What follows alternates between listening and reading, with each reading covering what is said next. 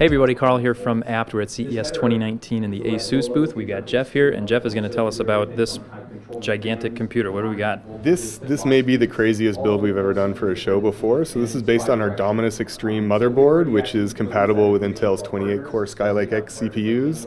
Uh, just the stats on this are insane. You've got 12 DIMM slots, you've got room for four M.2 SSDs, two U.2 SSDs, we've got four PCI Express by 16 slots. We've got a 32 stage power delivery system, actually nine ATX power connectors directly on the motherboard to supply enough power to this.